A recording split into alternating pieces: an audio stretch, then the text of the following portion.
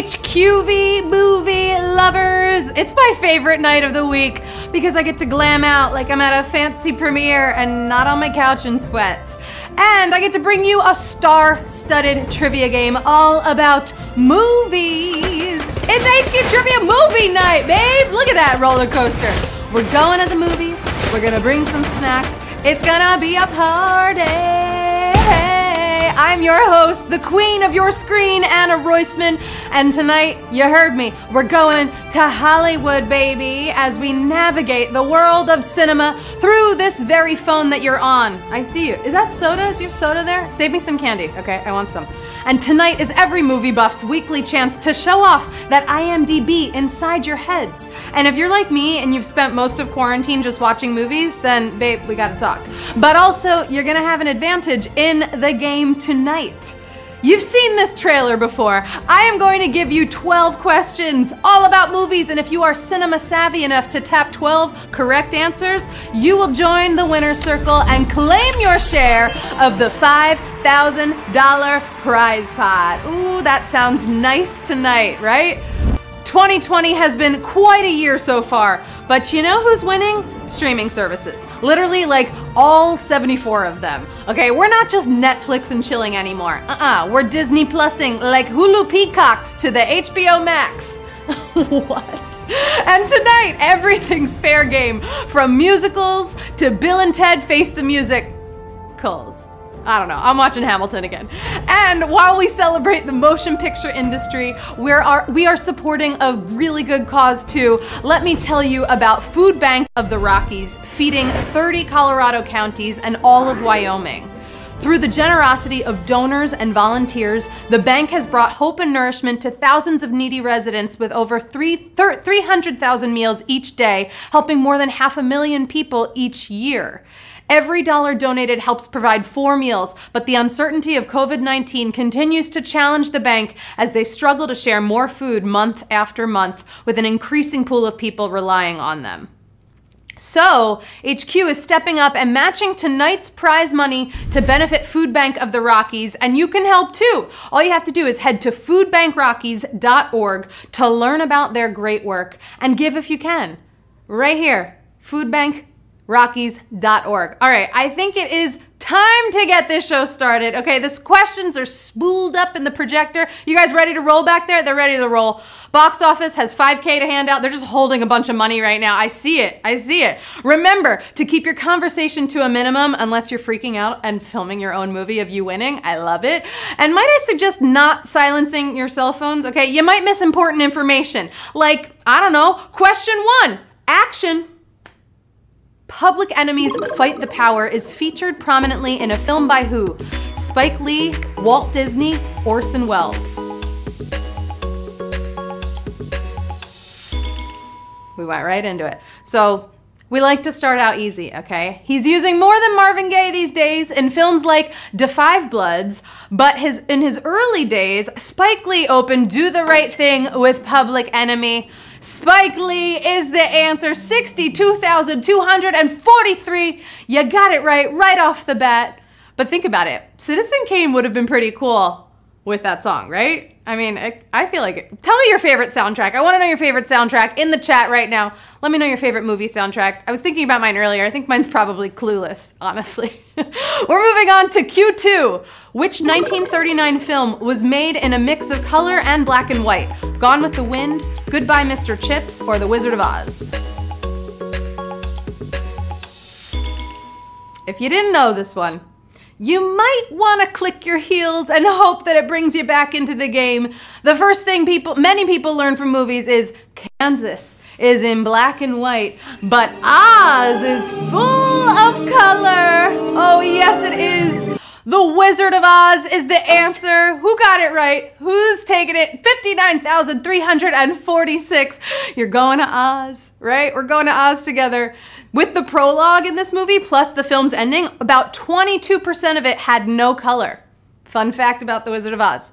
Also, gotta love that Tin Man. I was like, I, I think I identify with the Tin Man, with the heart. All right, moving on to Q3. Which of these films was set during World War II? Glory, Saving Private Ryan, or War, Horse? It may be a history question as much as a film question, but you need to know the movies to be aware that World, World War II is when Private Ryan was a POW. Saving Private Ryan is the answer. 54,867. You saved yourself on this question and you got it right. The rest of you, you can still use an extra life. You can still save, save it and use it. Just so you know, Glory is one of the great Civil War flicks, and Warhorse was a First World War horse. Say that five times in a row. Warhorse was a First World War horse, and it was a Broadway play. I tried it earlier, you know, it was my warm up for the day. All right, here we go with Q4. Which actor from the original Mary Poppins made an appearance in the 2018 sequel? Dick Van Dyke, Julie Andrews, or Glynis Johns? The sequel is legendary for its gap between the movies, right? It was a long time. So not everyone was still around, but lucky for us, Dick Van Dyke shined on the screen again. There he is, Dick Van Dyke in the old movie and in the new movie. 45,574. Ooh, you got it right. It was just a spoonful of sugar, right? Super easy. Listen, I learned that Julie Andrews, she didn't want to overshadow Emily Blunt as the new Mary. That's so sweet. Women supporting women. We love. But Dick Van Dyke came back better than ever, gave us a whole dancing number. He's still doing amazing at his age, and we love to see it. We're moving on to question number five.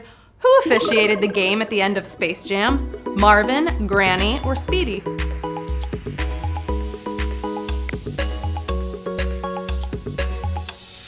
I'm singing the Space Jam theme song. One thing an NBA player will tell you is don't make the referee very angry, which can be tough with Marvin the Martian. Oh, precisely. Marvin, but if you don't find a fifth player, your team will forfeit the game. Yeah, he's tough. He's gonna be tough, right? Was it tough on you? Did you forfeit this game? I hope not. Let's see. Let's see, 37,016! You are safe in the game. 9,000 of you. You know what? Use that extra life, right? Maybe you want to come back into the game. You know, think about this. This makes sense, okay? He wasn't from either of the competing planets, so he can stay neutral. And I hope you'll stay with me because I believe you can win. I believe you can answer questions. That was my rendition of uh, I Believe I Can Fly. Thank you, thank you, thank you so much. Wow. All right, Q6. Which horror film featured both Janet Leigh and one of her daughters? The Fog, Night of the Lepus, or Psycho?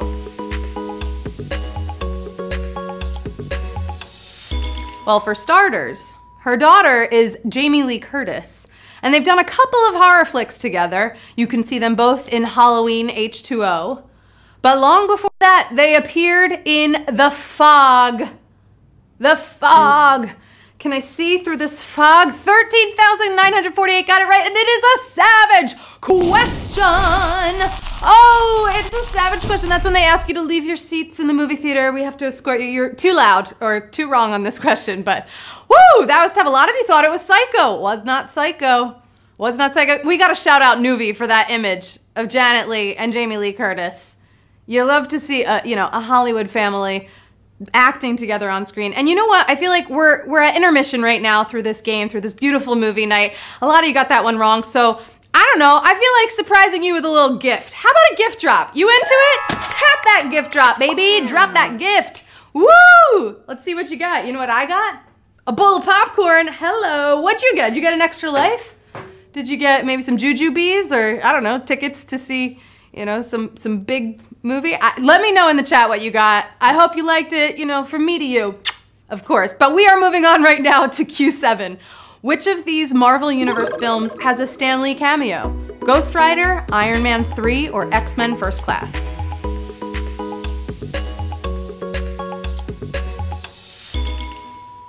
There are a few Stan-free holes in the MCU, but he did appear as a beauty pageant judge in Iron Man 3. Who got it oh. right? Iron Man 3? 21,587. Some of you did use an extra life. I see you and I love it.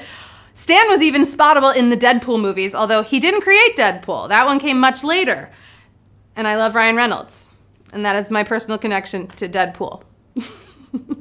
to the MCU. All right, here we go. Question number eight. I'm loving our movie date. I hope you are too. Which of these was not directed by Clint Eastwood? Bronco Billy, Hang 'em High, The Outlaw Josey Wales.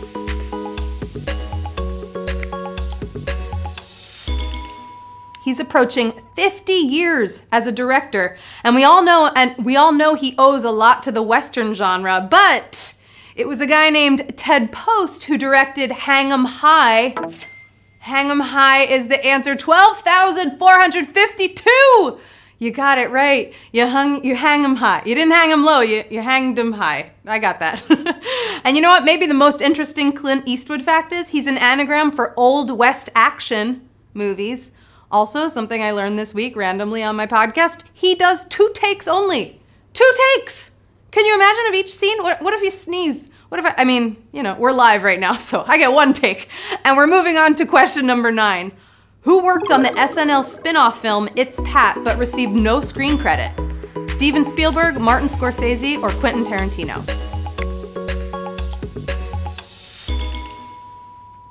A lot of movies have been based off of an SNL sketch or a specific character, and if you look back, Pulp Fiction wasn't yet in theaters when Tarantino did a rewrite on this movie. It's Pat. Who got it? Quentin Tarantino, 13,413!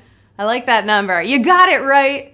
Still, you know what? This was post Reservoir Dogs, but listen, hey, we all need jobs sometimes, right? Even if you're gonna rewrite, it's Pat. Even in Hollywood. You know, you need to get that job, get that money, babe, just like you're gonna get in two questions. We're moving on to question number 10. The cast of Sunset Boulevard includes a future star of the original version of what TV show? The Addams Family, Dragnet, or Star Trek? The faded glory of Norma Desmond is mixed in with some up and coming talent in the form of Joe Gillis's friend Artie, played by Jack Webb, the creator and star of Dragnet. Ooh, Dragnet. That was a close one. 7,000. That was like that was like borderline savage. 7,384. You got it right. Sure, Sheldrake appeared on one Addams Family episode, but we said star, right? It's all in the words. It's all in the words of the question. We love words. Moving on to Q11. The only voice actor to work in every Pixar feature film appeared in what Best Picture Oscar winner? Amadeus, Chariots of Fire, Gandhi. We say appeared because Pixar's most prolific voice actor was ironically dubbed in Gandhi.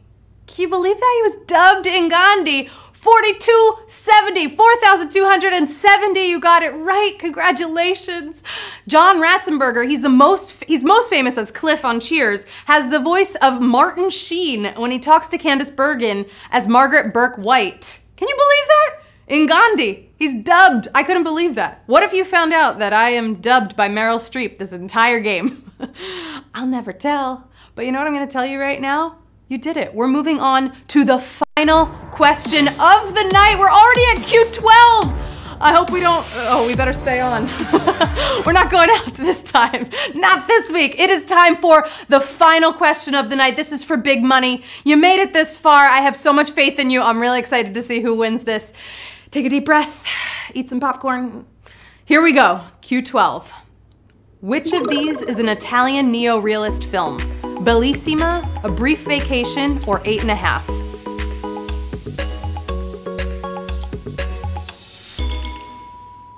After documenting post-war Italy with powerful emotion, many directors strayed from their neo-realist roots. Fellini went surreal with Eight and a Half, and Vittorio De Sica did straight melodrama in Brief Vacation.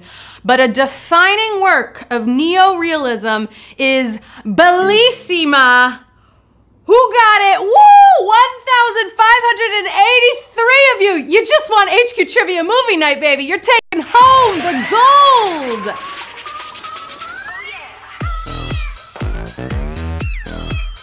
Oh yeah! I'm so excited. Let's see what you're bringing home. That was pretty savage on that last one. Whew. Scared me. All right, big money, big winners. My goodness, $3.1615. That's a lot of money. Big congratulations to Maru Junct, Junction? Mendy Lee, you did it. Congrats to Aisha 5, Sophia 890, Ray Royd, Miss Kendra. Who else do we have? Gouda, 5. Alina 0067. Oh, Johnson, Luca, Barker. Shazoids. I'm loving these names. I'm having fun with these tonight. Shazoids, you got it right. Shapia. I think I said all of them actually perfect. Congratulations to all of you, to everyone on a superstar performance. It's amazing to see, you know, the A-list movie trivia stars shine on this red carpet. And even if you didn't win tonight, you look great out there. And thank you so much for playing. Tomorrow night, you know, HQ Trivia proper is back with my fam, the money flipper himself, Matt Richards, at 9 p.m. Be there ready to get your game on just like they did in Space Jam.